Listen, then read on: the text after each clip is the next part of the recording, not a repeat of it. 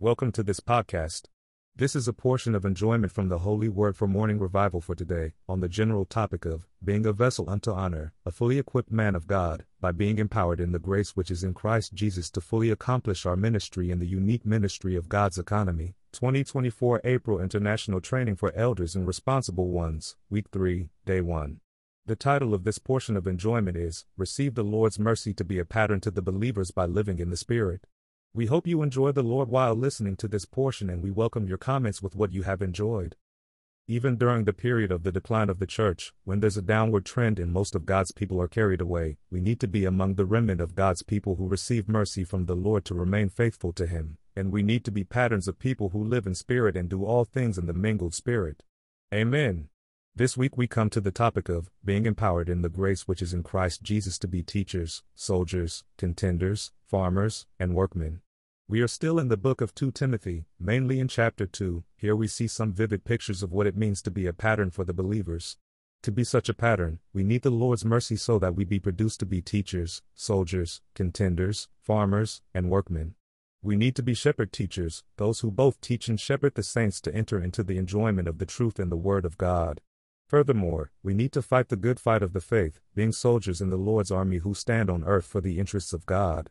We need to fight the good fight until we finish the course and receive the prize. We need to be those who contend for the faith, and we need to be like a farmer, patiently laboring and awaiting the result. The Apostle Paul was such a one. He entrusted what he knew and had to many brothers, and he told them to entrust these things to faithful men, who will be competent to teach others. He wanted everyone to be like this, to follow his pattern especially in these days today when the church is facing such a downward decline, when there are not only the self, the flesh, the world, and Satan that distract us and need to be dealt with, but also the degradation of the church, we need to have proper patterns in the church life. We need to be empowered by the grace of God which is in Christ Jesus. Degradation is not only out there in religious Christianity, it is somehow part of our religious blood. How do we overcome degradation? We need to be empowered by the grace. Also, we need to exercise our spirit, fanning our spirit into flame. Grace empowers us to fan our spirit into flame. When we fan our spirit into flame, we enjoy the empowering of the grace. This is a cycle, the empowering grace and the exercise of our spirit. May the Lord's grace be with our spirit and may we enjoy His grace, His mercy, and His peace. In this time of degradation, we need the Lord's mercy in an intensified way so that we may be faithful to the Lord until the end. May we see the pattern of Paul and of so many others, and may we follow their pattern in the church life. We need to be a pattern to the believers in Christ so that not only by word but also by our living we would nourish them and strengthen them to live the Christian life. Receive the Lord's mercy to be faithful to Him and be a pattern to the believers. We live in an age of the degradation of the church, there's a downward trend today, and most of God's people are carried away from the pure revelation in God's Word and from God's purpose. Even during this period of decline, we need to be among the remnant of God's people who receive mercy from the Lord to remain faithful to Him and even be a pattern to the believers. 1 Cor. 7 25b, 1 Kings 19 14, 18, Romans 11 5, Ezra 9 8, Nehemiah 1 3, Haggai 1 14. God always works in the principle of a remnant, though He calls all of His people, only some respond to His call to be His overcomers. May the Lord show mercy to us that we may be faithful to him and be a pattern to the believers. In Paul's epistles, we see not only the pattern of Paul but at least five other brothers who were a pattern to the believers. Paul as a pattern was multiplied and duplicated in five other brothers, and they received mercy from the Lord to be faithful to him to the end. Onesiphorus was one of them, he was an overcomer who resisted the general trend and stood against the downward current to refresh Paul, not being ashamed of the apostles' imprisonment on behalf of the Lord's commission, 2 Timothy 1:16-18.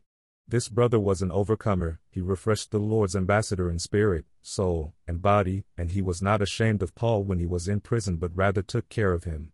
Though all those in Asia turned away from him, most likely being ashamed of Paul's imprisonment, Onesiphorus was not afraid to be associated with Paul. Paul was a big channel of supply, but even he needed refreshing and shepherding.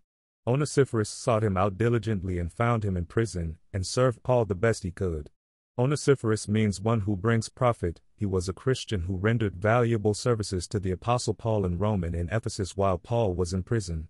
He was a man who was kind to his friend.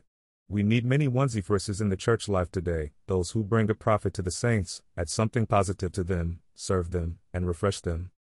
Lord Jesus, make us an Onesiphorus today. Make us those who resist the general trend of degradation in the church today. May we stand against the downward trend today and refresh the saints in spirit, soul, and body. May we add something positive, a profit, to the saints by ministering Christ to them and taking care of their needs. Make us a plus, not a minus. May we seek out the saints, care for them, minister to their needs, and refresh their being for their going on with the Lord. Timothy was one who was fully perfected and equipped to minister the word of God. He cared not only for a local church but also confronted the worsening decline of the church. 2 Tim. 3:13 to 17, Phil. 2:19 to 22, 1 Corinthians 4:17, 1 Tim. 1:16, 4:12, Furthermore, Timothy was like souled with the Apostle Paul to genuinely care for the church with all the saints and remind them of Paul's ways which were in Christ. Amen. Though he was a young co worker of Paul's, Timothy was filled with faith and he was also perfected and equipped to minister God's word. Here was a young brother who was willing to be perfected. We need to have such a heart, being willing to be perfected even by the imperfect ones. We need to be willing to be equipped to minister the word of God. And in the work of the Lord, we need to be like souled with the brothers taking the lead, not doing our own thing, initiating our own work, or doing what we think we should do. Rather, as we are with the saints, we need to remind the saints of Paul's ways which were in Christ, being identified with the Lord and also with the patterns he has left for us to follow. May we be saved from seeking our own things, not the things of Christ Jesus. May we serve with the saints unto the gospel, and teach the same thing everywhere in every church, teaching the eternal economy of God. May no one despise our youth, but rather, may we be a pattern to the believers in word, in conduct, in love, in faith, in purity. Lord Jesus, make us a Timothy today, one who is willing to be perfected and equipped with God's word. Amen. Lord, we open to you and we open to the perfecting in the body. Make us willing to be perfected and equipped so that we may minister the word of God. May we learn to care for the saints and confront the worsening decline of the church. May we be like soul with our fellow serving saints to genuinely care for the saints with all the saints according to God. Amen. Lord, save us from seeking our own things. May we seek the things of Christ and care for the saints in love. Luke was the beloved physician, he was a faithful companion of Paul until his martyrdom. See Colossians 4:14, Philem 24, 2:10, 4:11. The early church recognized Luke as the author of the Gospel of Luke and of the book of Acts.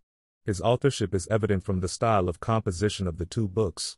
He was not a Jewish person, he was a Gentile, Colossians 4:14, 11, probably an Asiatic Greek, and a physician. He joined Paul in his ministry beginning in Troas, and he accompanied him in his last three ministry journeys. See Acts 16:10 to 17, 20 to 5 to 21:18, 27 to 1 to 28:15. Luke was a pattern to the believers, for he was a faithful companion of Paul until the apostles' martyrdom. Just as Mark's gospel reflected Peter's views on the Lord's life and ministry, Luke's gospel reflected Paul's views. At one point, Paul said, Only Luke is with me. Here was the minister of the age, one of the greatest apostle, and he was accompanied only by Luke. Luke took care of Paul, most likely extending his human life through his care as a physician. There's no message that Luke gave or work that he did except be with Paul and care for him, being alongside him to tend to his needs. This is what we need to be, faithful to the Lord and to his ministers to the end, and therefore be a pattern to the believers in our living. Lord Jesus, make us like Luke today, those who are faithful companions with the saints, taking care of their needs and ministering to them. We need your mercy, Lord, to be faithful to you to the end. May we focus not on doing a great work for you or being eloquent and capable, but being a faithful companion of the saints and a pattern to the believers. Have mercy on us, dear Lord, that we may be found faithful to the end.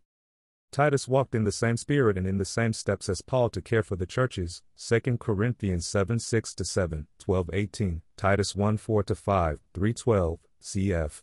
2 Tim 4 10.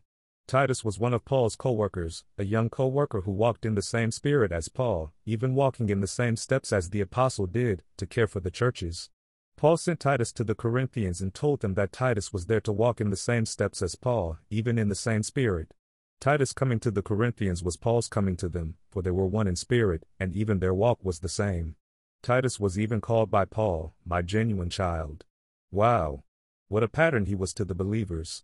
Here is a young brother who was willing to cooperate with the older co worker in such a way, representing him faithfully and being absolutely in the same spirit, walking in the same steps, not trying to do anything differently. Titus didn't invent something, didn't speak his own thing, nor did he do his own work, he walked in the same spirit and same steps as the apostle. May we be like Titus today, not doing our own thing in the work of the Lord but joining in under the leadership of the older brothers and laboring faithfully together with them. May we learn from the more senior co workers and be like souled with them in the Lord, even walking in the same steps of faith as they do, reminding the saints of their ways in the Lord. Lord Jesus, may we be like Titus today, those who walk in the same steps as the Apostle Paul to care for the churches. Save us from doing our own thing and starting our own work within the work in the church life and the Lord's recovery. May we walk in the same spirit as our older co workers and be joined in soul with them. May we even walk in the same steps, being fully one with the brothers and sisters you put us with. Amen. Same spirit. Amen. Same steps. Yes, Lord, one with you and one with the saints for the shepherding of the saints and their going on. Mark was useful to Paul for the ministry, v. 11, Acts 15:37. Mark had quite an interesting journey and experience, and he is a pattern to the believers. Beginning from Acts 12, he appeared on the scene, for when Peter was released from prison he went to the house of Mark's mother, then, he traveled with the brothers a little bit, and then there was a shortage exposed in Barnabas, who took Mark and went somewhere, while Paul and Silas were sent by the church somewhere else. However, even though there was this situation, later Mark was somehow recovered. We don't know the whole story, but Peter called him, my son, and he was useful to Paul. Mark supported both Peter and Paul and was useful to them. Though Mark had a period of time when he was not in the ministry with Paul and or Peter, he was eventually recovered and became useful to Paul. May the Lord gain many such young ones today, those who are useful to the Lord and to his ministers in the work. May we all be those who are faithful to the Lord until the end. May we be coordinated together with the saints, following the pattern of those who went before us and receiving the Lord's mercy and grace to be faithful to him to the end. Lord Jesus, make us those like Mark today who are useful for the ministry. Grant us to have your mercy and grace in our daily living and in all the aspects of our Christian life and church life so that we may be faithful to the Lord to the end. Amen. Lord Jesus, no matter what happens, keep us one with you and one with the saints in the church life so that we may be faithful to you to the end.